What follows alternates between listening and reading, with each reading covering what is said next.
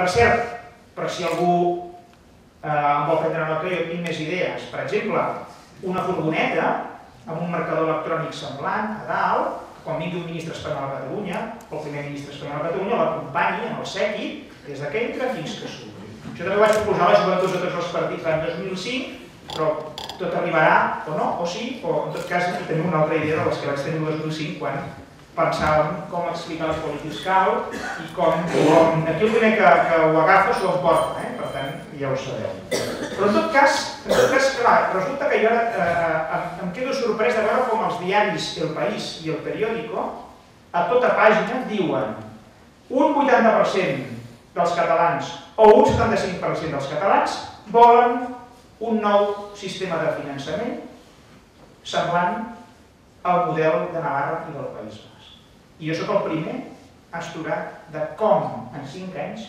ha canviat completament aquesta situació. Per tant, fixeu-vos, eh, eh, això va, va, va, va, això va. No sé fins on arribarem, no sé quin serà el futur, no sé si ens en sortirem, o potser sí.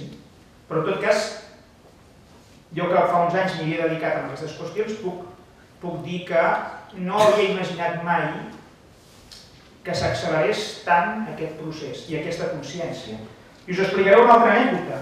Aquest ministre García Margallo, que és un gran europeu, que és una persona sòlida, 25 anys de gran europeu, de gran prestigi, que parla llengües i és un bon i és un bon eh, és, és prestigiat i, i cal dir-ho així, l'estat espanyol té servidors molt eficients i intel·ligents. Fa nou mesos em va demanar Ramon, pásame tu libro de l'espoli fiscal. I vaig dir, home, ara veig que seràs ministre. Molt bé, però està escrit en català. I diu, para eso entendemos todo. Molt bé, doncs llavors jo vaig, i, i em va dir, passa els llibres de l'Estatut, sé que has fet papers en anglès, eh, vaig fer un, un article en anglès publicat en una revista britànica que es diu Macroeconomic Effects of Catalan Fiscal Deficit with the Spanish State. Aquest és el títol va ser censurat a Papeles d'Economia Espanyola, va ser publicat a la Plate Economic Letters, una revista que puntuava molt més que aquella madrilenya, però fixeu-vos com sempre, també en el camp de les idees el món és molt més gran que, que Madrid i, i, i dona moltes més oportunitats. Llavors, li pregunto, per què em demanes aquest llibre ara? I diu, és que Catalunya serà molt important en els anys que vindran. I però per què? Si fareu 200 diputats, i si Grècia peta abans de, de les eleccions espanyoles, en serà 240, perquè els catalans no farem falta. I la frase literal és, con España intervenida, y posiblemente con los vascos al monte, no podríamos aguantar un pulso catalán por este tema. Jo li vaig dir gràcies per la sinceritat, perquè no t'he dient, jo vaig dir en el canal català, avui vosaltres,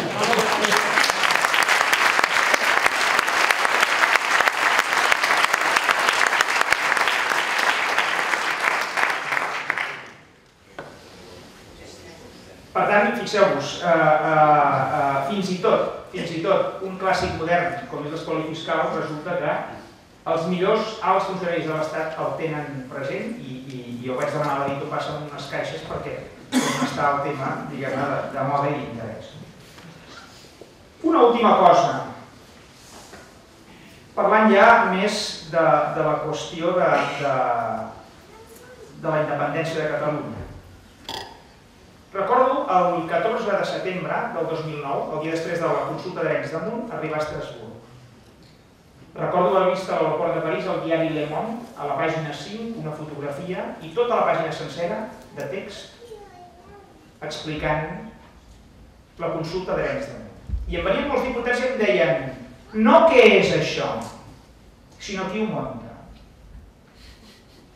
I vaig dir, pel que jo sé, doncs entitats eh, de la societat civil, les bars d'ensaires, colles castelleres, i diu, ah, molt bé, el dia que feu alguna cosa en seu parlamentària, avisa'ns. Per tant, la manera de fer-ho en l'Europa avançada és en seu parlamentària. Jo, curiosament, per sorpresa meva, no he hagut d'explicar res a ningú del que és Catalunya.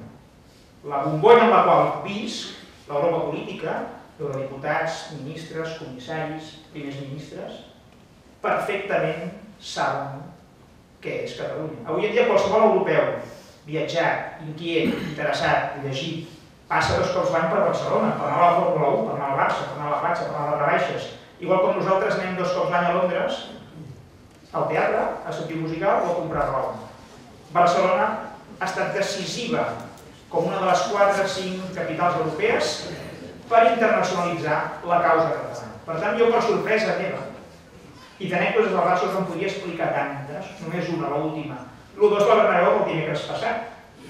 Un bar a Estrasburg, estàvem uns eurodiputats nòrdics.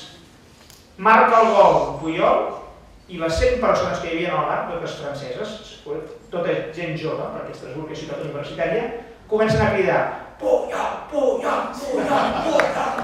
Jo vaig quedar esturat, perquè diu, això passa a la Vilaborsa d'on vinc jo, que des del Castell d'Areny veiem la muntanya a la masia del Carles Puyol. Això passa a la muntanya, però a Estrasburg. Ja no us explico què va passar després del segon gol de la Vidal, que és, com sabeu, francès.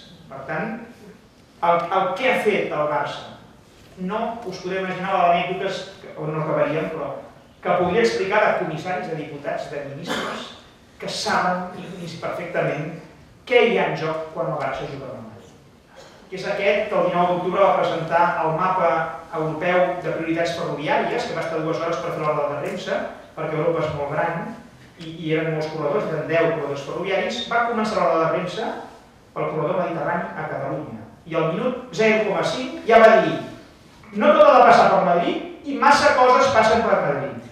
Per tant, corredor mediterrani fins a baix. I hem agafat el típex i hem esborrat la travessia central de los Pirineos. Per tant, fora el cofinançament.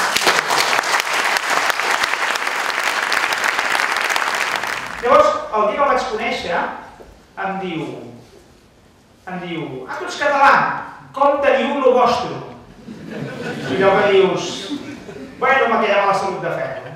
Era l'any 2009, eh, allò que, que, que el primer dia, clar, no, a més allà les converses són d'un minut, no, no pots dir, vine, vine, que ara t'ho explicaré. Estira't que farem un... allò, no, no, no. no. Llavors, Llavors em diu, diu, quan feu el pas, heu de saber que necessitareu una amplíssima majoria social al darrere. Més ben dit, no feu el pas fins que no tingueu aquesta amplíssima majoria social al darrere. Llavors ella explica, la, ella diu, quan, quan es va proclamar la independència d'Estònia, jo era diputat en el Parlament d'Estònia i recordo com va anar. I com, com va anar? Explica'm-ho. I diu, t'ho explico en un minut i em va dir, els tancs russos van encerclar el Parlament, érem tancats a dins, i rebíem trucades de François Mitterrand i Margaret Thatcher dient no entrareu mai a la Unió Europea.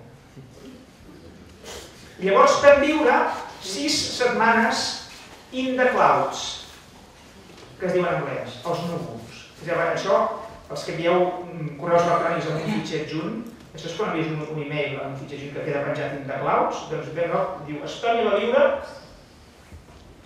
gairebé 3 mesos de claus. És a dir, vam proclamar la independència, els russos pràcticament ens tenien amb els tancs encerclats, tothom ens deia no, no entrareu mai en el món normal, no entrareu mai a la Unió Europea, no entrareu mai a la Unió Europea, nosaltres vam aguantar.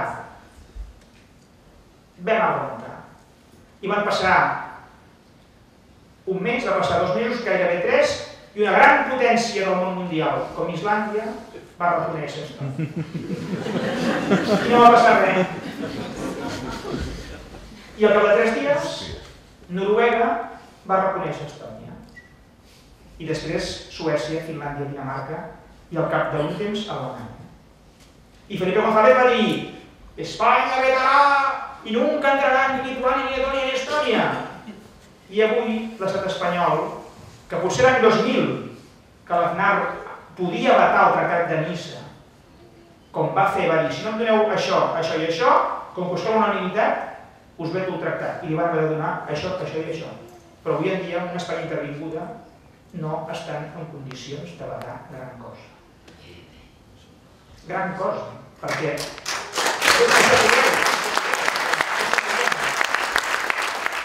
els referèndums s'han de fer per guanyar-los els referèndums s'han de fer quan tinguem una majoria social i hem d'explicar, i això ho diu molt bé Germà Bel,